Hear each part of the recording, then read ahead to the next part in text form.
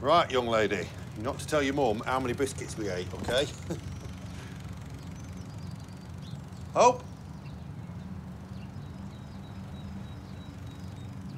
Hope? Are you, sweetheart? Hope, come on, don't be daft.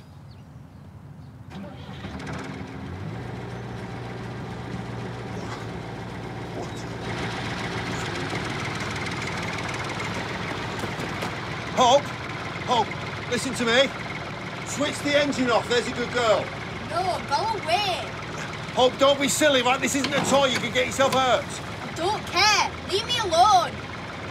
Switch it off right now, or else I'm calling your mother.